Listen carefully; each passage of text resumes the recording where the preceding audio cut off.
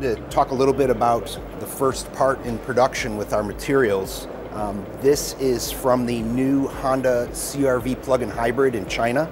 Uh, this went into production in February 2021. Um, it's uh, uh, made from a polypropylene short glass, 30% short glass, um, with flame retardant. Yes, and uh, it is really a huge, impressive part.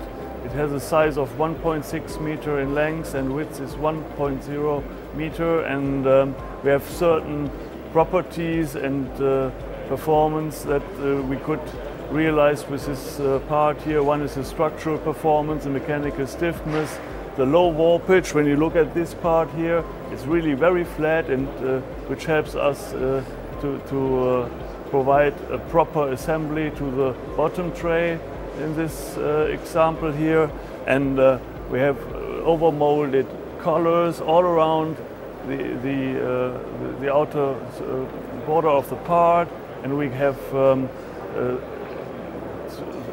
threaded inserts which, which are integrated here on the overall surface. And um, yeah, maybe David, you can talk a little bit more about the regulations that sure. you can Yeah, and so this part um, helps Honda meet a new regulation that started in January 2021 in China.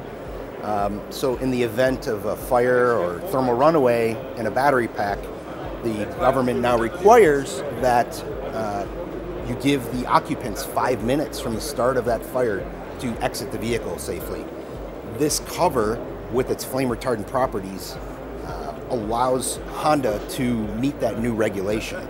So, um, you know, our, our partners at Sanko Gosei who molded this part are, uh, you know, they, they're very uh, important in, in being able to, to bring this part to life in a very quick, short amount of time.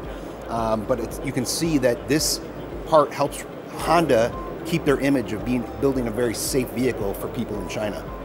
Another aspect we are looking at here is also the manufacturability of these large parts. So we are produce, we are able to produce this part here at a reasonable machine size and even bigger parts for pure electric vehicles we can manufacture with uh, providing technologies, simulation tools so that these parts are to, uh, produce, injection moldable in uh, available uh, machine size and uh, that we do not not have to invest in too much uh, machine costs uh, from that perspective.